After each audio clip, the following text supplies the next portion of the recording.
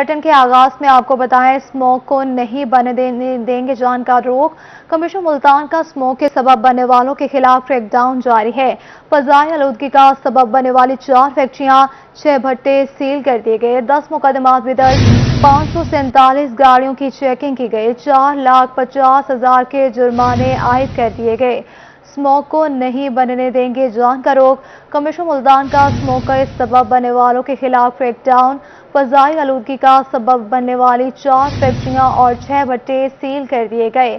दस मुकदमा दर्ज और पाँच सौ सैंतालीस गाड़ियों की चेकिंग की गई। चार लाख पचास हज़ार के जुर्माने आयद किए गए। आपको अहम खबर से आगाह करें, कमिश्नर मुल्तान का स्मोक का सबब बनने वालों के खिलाफ क्रैकडाउन फजाई आलूदगी का सबब बनने वाली चार फैक्ट्रियाँ और छह भट्टे सील कर दिए गए। दस मुकदमा दर्ज, पाँच सौ सैंतालीस गाड़ियों की चेकिंग की गई। चार लाख पचास हज़ार के जुर्माने आयद किए गए। आपको अहम खबर से आगाह करते चले।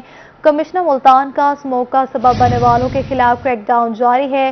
फजाई आलूदगी का सबब बनने वाली चार फैक्ट्रियाँ और छह भट्टे सील कर दिए गए। दस मुकदमा दर्ज और पाँच सौ सैंतालीस गाड़ियों की चेकिंग की गई। चार लाख पचास हज़ार के जुर्माने भी आयद किए गए। आपको बताते चलें, इस हवाले से स्मोक को नहीं बनने देंगे जान का रोक कमिश्नर मुल्तान का स्मोक का सबब बनने वालों के खिलाफ क्रैकडाउन जारी है। फजाई आलूदगी का सबब बनने वाली चार फैक्ट्रियाँ और छह भट्टे सील कर दिए गए। दस मुकदमा दर्ज, पाँच सौ सैंतालीस गाड़ियों की चेकिंग की गई और चार लाख पचास हज़ार के जुर्माने किए गए। आपको अहम खबर से आगाह करें, कमिश्नर मुल्तान का स्मोक का सबब बनने वालों के खिलाफ क्रैकडाउन जारी है।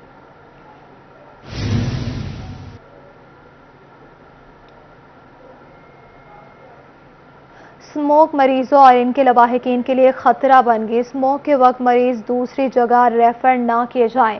स्मोक के सफ़र से एम्बुलेंसेज के हादसा बढ़ रहे हैं। District emergency officer chief executive health को खत लिख दिया गया। आपको अहम खबर से आगाह करते चले। स्मोक मरीजों और इनके लवाहकिन के लिए खतरा बन गई। स्मोक के वक्त मरीज़ दूसरी जगह रेफर ना किए जाए। स्मोक में सफ़र से एम्बुलेंसेज के हादसा बढ़ रहे हैं।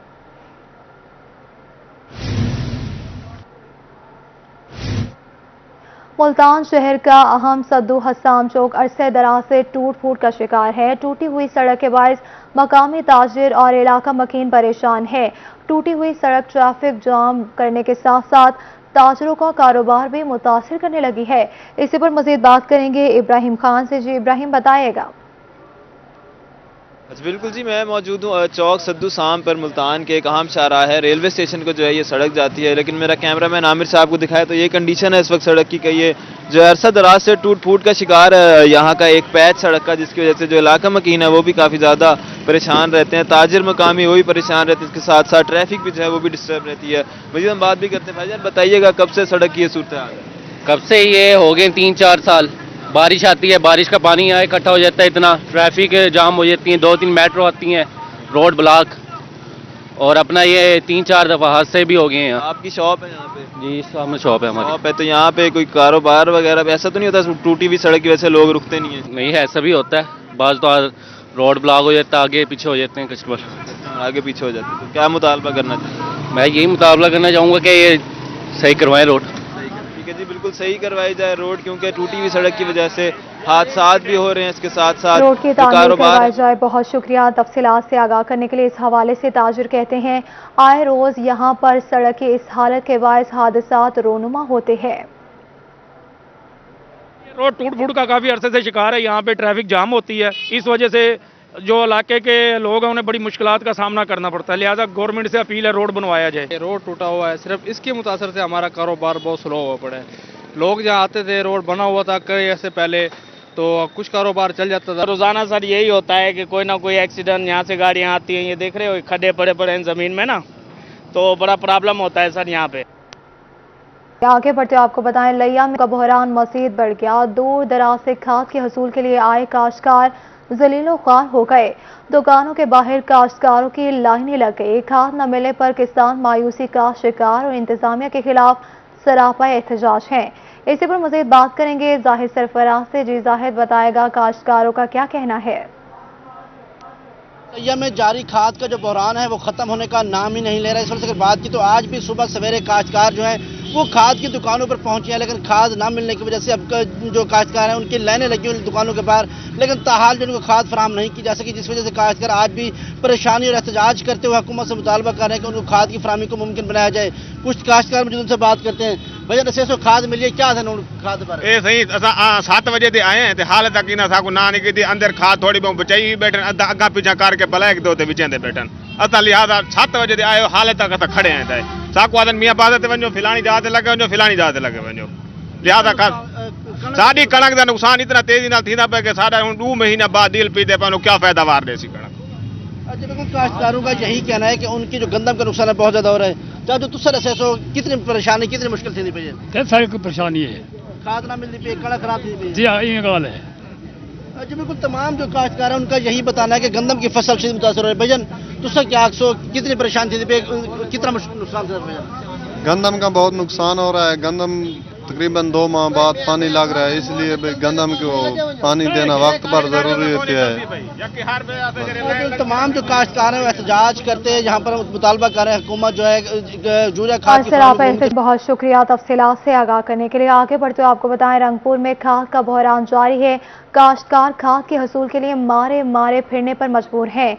डीएपी खाद की कीमत में सात सौ पचास रुपये बैग में इजाफे से काश्तकारों की परेशानी में मजीद इजाफा हुआ है। इसी पर मजीद बात करेंगे राना परवेज अख्तर से। जी बताइएगा। खाद का बुरान जो है वो शिद्दत इख्तियार कर चुका है। किसान जो है वो खाद के असूल के लिए मारे मारे फिरने पर मजबूर हैं और डीएपी खाद की कीमत में सात सौ रुपये सात सौ पचास रुपये फ़ी बैग तक का इजाफा कर दिया गया है जिससे जो है काश्तकारों की परेशानी में मज़ीद इजाफा हुआ है। बात करने के लिए मेरे साथ इस वक्त सीनियर नायब सदर मुस्लिम लीग नून मुजफ्फरगढ़ मार मुस्तफ़ा तरगढ़ मौजूद हैं। सर खाद डीएपी खाद की कीमत में भी इजाफा कर दिया गया है। इसके अलावा खाद भी नहीं मिल रही, क्या कहेंगे इस हवाले से? ये देख लें यही खाद का बुरान बहुत शिदत इख्तियार कर गया है। अब खाद देने का टाइम है गंदम को तो खाद तो यहाँ मिल भी नहीं रही। तो डीएपी का रेट इन्होंने पहले बहुत ज़्यादा है, फिर सात सौ पचास रुपये फिर बढ़ा दिया है। हमें तो इस गवर्नमेंट की पॉलिसी की कोई समझ नहीं आ रही, ये मुआशी कत्ल है किसान का। मेहरबानी करें किसान को इस मुआशी कत्ल से बचाएँ। किसान बहुत ज़्यादा परेशान है और रुल गया है किसान। पहले यहाँ सोना यूरिया खाद है वो मार्केट में मिल ही नहीं रही। अगर मिल रही है तो वो ब्लैक इसमें मिल रही है। ए, उसका असल रेट जो है सत्रह सौ अस्सी रुपये है। यहाँ पच्चीस सौ रुपये में फ़रोख्त फिरोख्त हर जगह पे यही हाल है। हुकूमत नाम की कोई चीज़ नज़र भी नहीं आती हमें कि यहाँ कोई पूछने वाला हो कोई किसान की फरियाद सुनने वाला हो। किसान बेचारा अकेला तनहा रह गया है। और इन किसान का मुआशी कत्ल किया जा रहा है। चलो, कम से कम अब जब खाद देने का टाइम है, गंदम को आप किसानों को कोई रिलीफ देना चाहिए था। उल्टा खाद खाद की कीमत भी बढ़ा दी गई है और खाद मिल भी नहीं रही। जी जैसा कि आपने मार मुस्फत रगड़ की बात सुनी इनका यही कहना है कि खाद देने का गंदम की फ़सल को टाइम है मगर खाद जो है वो नायाब हो सकी है खाद की किल्लत है खाद नायाब है बहुत शुक्रिया तफसीलात से आगाह करने के लिए। आगे बढ़ते हुए आपको बताएँ तहसील जतोई में खाद की अदम दस्तियाबी के बाद गंदम की फ़सल अफजाइश के इब्तदाई मराहल में तबाही के दहाने पर पहुँच गई। यूरिया खाद का बहरान शिद्दत इख्तियार कर गया। इसी पर मजीद बात करेंगे महर इमरान से। जी बताएगा इस हवाले से। तहसील जतोई और उसके गिरदो नवा मजाफाती इलाकों में जो खाद है, उसका बहरान शिद्दत इख्तियार कर चुका है। काश्तकार तबका इंतहाई परेशान है। गंदम को पहला पानी देने का वक्त आ चुका है, जिसके लिए जो है यूरिया खाद की ज़रूरत होती है। लेकिन यूरिया खाद की अदम दस्तियाबी के बायस जो है, किसान अपनी गंदम को पानी जो है वो नहीं दे पा रहे, जिससे जो है गंदम की फ़सल इंतहाई मुतासर हो चुकी है। मार्केट से खाद गायब है। इंतज़ामिया की अगर बात की जाए तो किसानों को खाद की फरहमी के लिए उनकी जानब से कोई भी ऐसे इकदाम सामने नहीं आ पा रहे, जिससे जो है जो किसान तबका है उसको बासानी और जो हुकूमती मुकर करदा नर्क है उस पर खाद दस्तियाब हो सके। मेरे साथ एक काशकार मौजूद है, इनसे जानते जी बताइएगा, गंदम को पहला पानी देना है आपने और गंदम इंतहाई जो है इस वक्त कमज़ोर हो चुकी है। अफजाइश के इब्तदाई मराइल में ही जो है इसको खाद नहीं मिल पा रही। क्या कहेंगे? जी, हम किसान, मेरी 25 एकड़ गंदम काश्त है। हम पहले भी डीएपी ब्लैक पे, इक्यानवे सौ रुपये पे ले चुके हैं। अभी हमारी गंदम पानी पे आ गई है। हम गंदम, यूरिया खाद लेने जाते हैं तो दो बोरियाँ, वो भी ब्लैक पे पच्चीस सौ तेईस रुपये पे मिल रही हैं। हालाँकि रेट उसका अठारह सौ पचास रुपया है। हमारी गंदम तबाह, बर्बाद हो रही है। हम पानी नहीं लगा रहे, यूरिया की अदम मौजूदगी की वजह से। अच्छा बिल्कुल काश्तकार जो है इनका कहना है कि भी यूरिया खाद ना मिलने के बायस गंदम को पानी नहीं दे पा रहे जिससे जो है हमारी गंदम मुतासर हो रही है जिससे जो है मुस्तबल में जो है गंदम का जो बहरान है वो पैदा होने का खदशा है। हुकूमत को चाहिए कि जो काश्तकार हैं जो मुल्क की मैशियत में रीढ़ की हड्डी की हैसियत रखती है गंदम की फ़सल मीर शाकर आज़म रेन गेम्स में डेरा गाजी खान के स्पोर्ट्स जिमनेजियम में पाकिस्तान एयरफोर्स और साउथ पंजाब की वॉलीबॉल टीमों के दरमियान मैच जारी है। आइए आपको ले चलते हैं।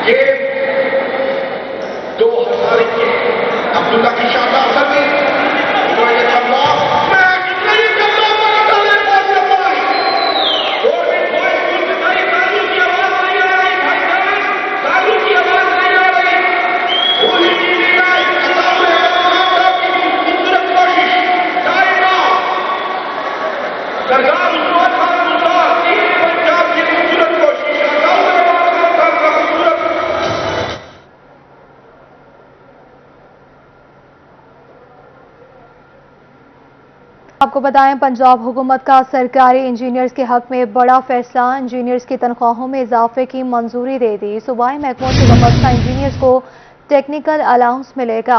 अलाउंस सिर्फ़ प्रोफेशनल इंजीनियर्स को दिया जाएगा। आपको अहम खबर से आगाह करते चले।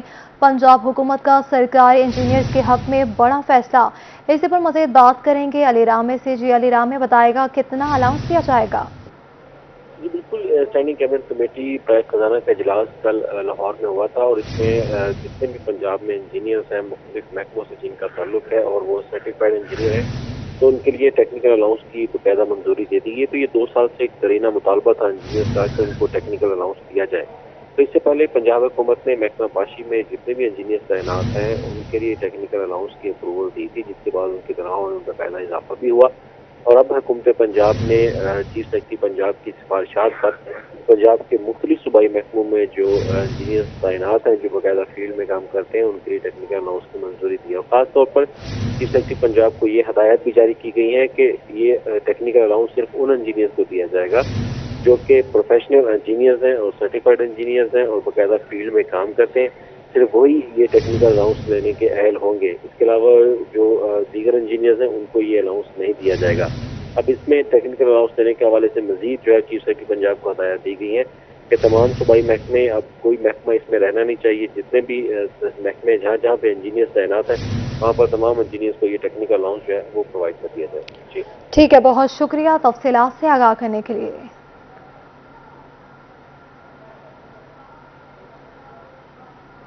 जनूबी पंजाब के अवाम के लिए सेहत के मैदान से बड़ी खबर है। दही इलाकों के मरीजों के लिए बड़ी खुशखबरी।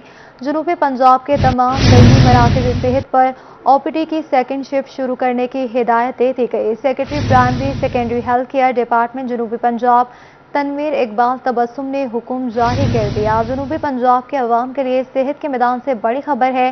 दही इलाकों के मरीजों के लिए बड़ी खुशखबरी। जनूबी पंजाब के तमाम दही मराकज सेहत पर ओपीडी की सेकेंड शिफ्ट शुरू करने की हिदायत दे गए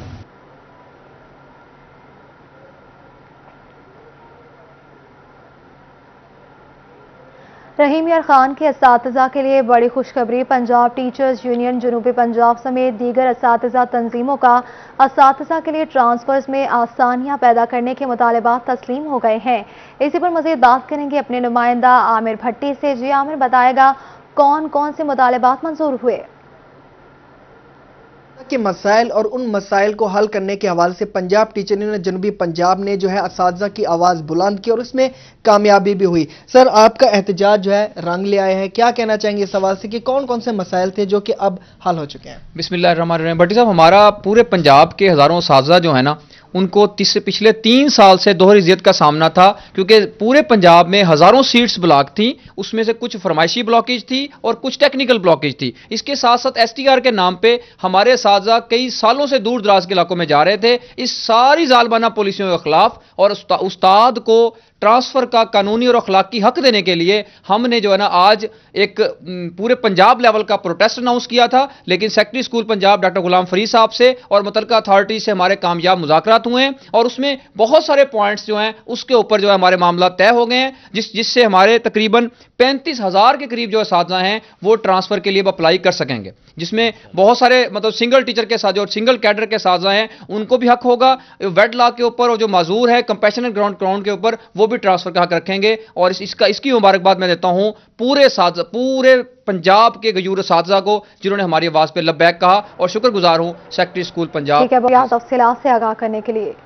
Chief justice Lahore high court mister justice Mohammad Amir Bhatti ने सिविल अदालतों में गैर ज़रूरी अल्तवा का नोटिस जारी कर दिया। सिविल मुकदमात दायर करते वक्त तमाम कानूनी तकाजों की चेकलिस्ट जारी कर दी गई।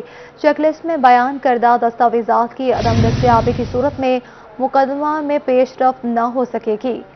आपको बताते चले इस हवाले से chief justice Lahore high court mister justice Mohammad Ameen Bhatti ने सिविल अदालतों में गैर ज़रूरी अल्तवा का नोटिस जारी कर दिया।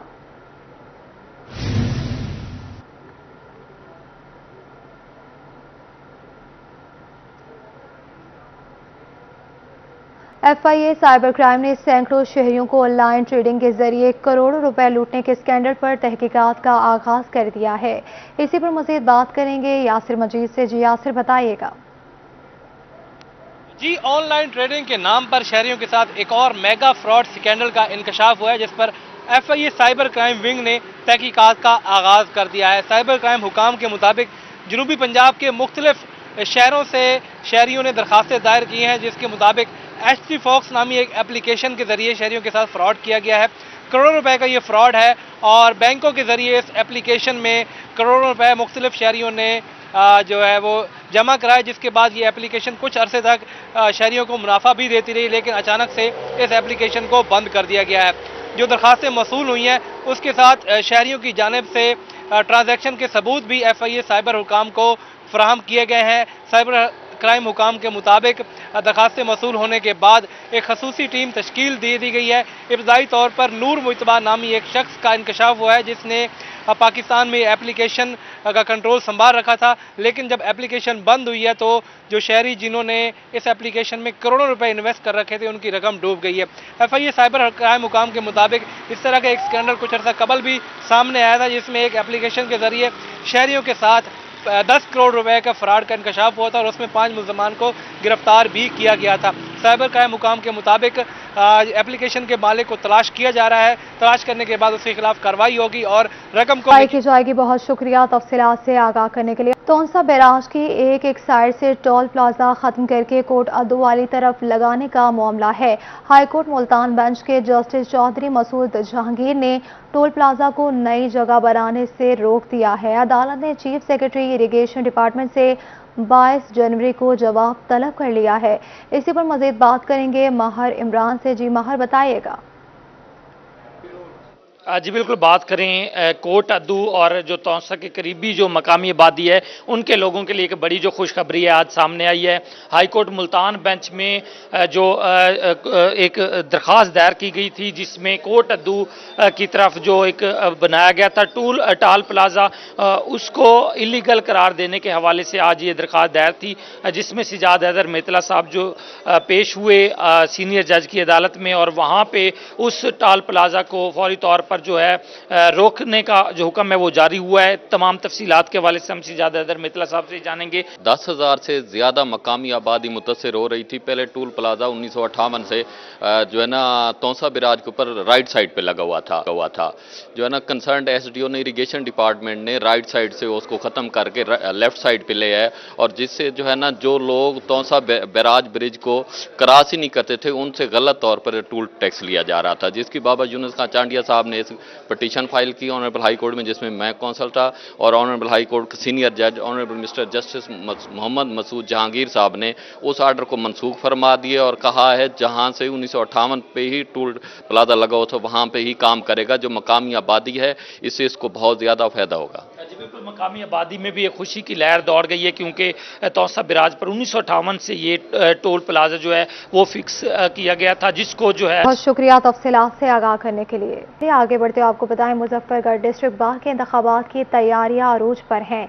इसी पर मजीद बात करेंगे आमिर डोगर से। जी आमिर बताइएगा। जी बिल्कुल डिस्ट्रिक्ट बार मुजफ्फरगढ़ में इस हम मौजूद हैं। डिस्ट्रिक्ट बार में इंतबात की गहमा गहमी जो अरूज पर है और जोड़ तोड़ का सिलसिला जो वो जारी है आज जो वो कागजात की जाँच पड़ताल की जाएगी। 27 दिसंबर को उम्मीदवारों की हतमी फहरिस्त जारी की जाएगी और इस हवाले से उनतीस उम्मीदवार जो है वो मैदान में आ, कुछ वकला हमारे साथ बात करने के लिए इस हवाले से मौजूद हैं। अच्छा मुझे ये बताएगा कि आ, क्या सूरत हाल है बार की सदारत के लिए? कौन से दो उम्मीदवार हैं और जनरल सेक्रेटरी के लिए कौन कौन से उम्मीदवार मध्य मुकाबले इलेक्शन की गहमा गहमी है आजकल, वकला के इलेक्शन की। और सदारत के लिए राव आसिफ हमीद और सईदुल्ला कसूरा साहब के दरमियान एक टफ का मुकाबला चल रहा है। और सेक्रेटरी पर दो ही कैंडिडेट हैं, शफीक रमन मौलाना साहब, जो मौजूदा सेक्रेटरी भी हैं, इसके अलावा मोइनुद्दीन जोया साहब और शफीक मौलाना साहब, चूँकि एक अच्छे अंदाज में उन्होंने अपनी एक कंपेन की और एक अच्छा साल गुजारा है तो वो भी एक मज़बूत कैंडिडेट गिने जा रहे हैं। और राव आसिफ साहब सदर के लिए। इसी तरीके से दूसरी सीटों पर एक लाइब्रेरी सेक्रेटरी पर है हमारे फैसल नवाज़ पताफी साहब। तमाम सीटों पर इस तरीके टोटल उनतीस उम्मीदवार हैं और एक अच्छा मुकाबला चल रहा है और गहमा गहमी है वकला साहिबान पीछे अच्छा मुझे ये बताएगा कि किस पार्टी को आप सपोर्ट करें कौन सा कैंडिडेट मज़बूत दिखाई दे रहा है इस इलेक्शन में? देखिए इस स्पोर्ट से हट के भी जो मतलब कॉमन व्यू है ना वो यही है कि राव आसिफ वाला पूरा पैनल ओवर वन वे चल रहा है और बड़ी सपोर्ट के साथ वो चल रहा है। इंशाल्लाह हमें होपफुल है कि ये विन क्लियर है इंशाल्लाह। जी बिल्कुल इस हवाले से ठीक है बहुत शुक्रिया तफसीत से आगाह करने के लिए। आगे बढ़ते आपको बताएँ रहीम या खान में डिस्ट्रिक्ट बार के इलेक्शन मुहिम में एक मतबा फिर से नाश्ते की महक। ग्रेटर अलायंस की जानब से ताज़ा ताज़ा गर्म नाश्ते पर इलेक्शन मुहिम की जा रही है। इसी पर मजीद बात करेंगे आसिम सदीक से। जी आसिम बताइएगा। बार रहीमिया खान में एक मरतबा फिर से नाश्ते की टेबल सजी है यहाँ पर नाश्ता तैयार किया जा रहा है, क्योंकि इलेक्शन मुहिम में नाश्ता देना एक रवायत है रहीमिया खान में और आज जो है जाम अब्दुल मजीद जो सदारती उम्मीदवार है, उनकी पैनल की तरफ़ से वकला को नाश्ता देकर इलेक्शन मुहिम की जा रही है। जाम मजीद साहब रहीमिया खान की हमेशा से रवायत रही है कि एक नाश्ता दिया जाता है वकला को। हम देख रहे हैं कि नवा किस्म के जो डिशेज है, तैयार की जा रही है। यहाँ पर ताज़ा ताज़ा नाश्ता दिया जा रहा है। तो इस रवायत को कैसे समझते हैं और अपनी इलेक्शन मुहिम को कैसे समझते हैं कि क्या जो रिज़ल्ट आएगा, कैसा आएगा? बिस्मिल्लाहिर्रहमानिर्रहीम। पहले तो मैं आपका मशहूर हूँ कि आप मुझे इस प्रोग्राम में तशरीफ़ लाए और मेरे प्रोग्राम को जीस बख्शी और सिंगार बने मेरे प्रोग्राम का। ये जो नाश्ते की जो रवायत चली आ रही है, इसको आज डिस्ट्रिक्ट बार में मेरे ग्रुप ग्रेटर लाइन्स की तरफ़ से अहतमाम किया गया है जिसमें आज भरपूर तरीके से वकला भाइयों ने शिरकत की है और मज़े मज़े के खाने और नाश्ता जो है वो पुड़ियाँ हैं वो खा रहे हैं और अल्लाह के करम रहमत से इन हमारा पूरा पैनल भारी तादाद से इंशाल्लाह कामयाब होगा। बिल्कुल पूरा पैनल जीतेगा देखा जा सकता है। और है बहुत शुक्रिया तफसीलात से आगाह करने के लिए। आपको बताएँ यूनिवर्सिटीज के तलबा के लिए बड़ी खबर एच ई सी का तलबा को पैंतीस हज़ार डॉलर तक बिज़नेस फंड्स देने का ऐलान कर दिया गया। H E C innovative business ideas के लिए पैंतीस हज़ार डॉलर फंडिंग करेगा। बिज़नेस इंक्यूबेशन सेंटर्स को बराह रास्त फंडिंग मिलेगी। इनोवेटिव बिज़नेस आइडिया जमा करवाने के लिए 15 जनवरी आखिरी तारीख मुकर्र कर दी गई। एच एस सी इंटरप्रेन्योरशिप को फरोग देने के लिए माली मुआवनत कर रहा है। इसी पर मजीद बात करेंगे अकमल सोमरों से। जी अकमल, बताइएगा। जी, बिल्कुल। हायर एजुकेशन कमीशन जो है, वो तलबा में ग्रेजुएट्स में एंटरप्रेन्योरशिप की स्किल्स पैदा करने के लिए ये प्रोग्राम शुरू कर चुका है और इसके लिए एचईसी ने ये ऐलान किया है कि ऐसे तलबा जो इनोवेटिव बिज़नेस आइडिया पेश करेंगे, इनको अपना बिज़नेस शुरू करने के लिए कमीशन की जानब से पैंतीस हज़ार डॉलर तक की फंडिंग फराम की जाएगी। इसके लिए एचईसी ने ये शर्त आयद की है कि ये फंडिंग यूनिवर्सिटी में कायम बिज़नेस इंक्यूबेशन सेंटर्स को बरह रास्त फराम की जाएगी, ताकि तलबा अपना बिज़नेस शुरू कर सके। इसके लिए एच ने जब्ता भी जारी किया है और तरीक़ाकार जारी किया है, और तलबा को ये हिदायत की है कि वो 15 जनवरी तक अपनी दरखास्तें जमा करा सकते हैं, और जो तालब इलम बेहतरीन इनोवेटिव बिज़नेस आइडिया पेश करेगा। उसे पैंतीस हज़ार डॉलर तक की फंडिंग फराम की जाएगी। ठीक है, बहुत शुक्रिया तफसीलात से आगाह करने के लिए।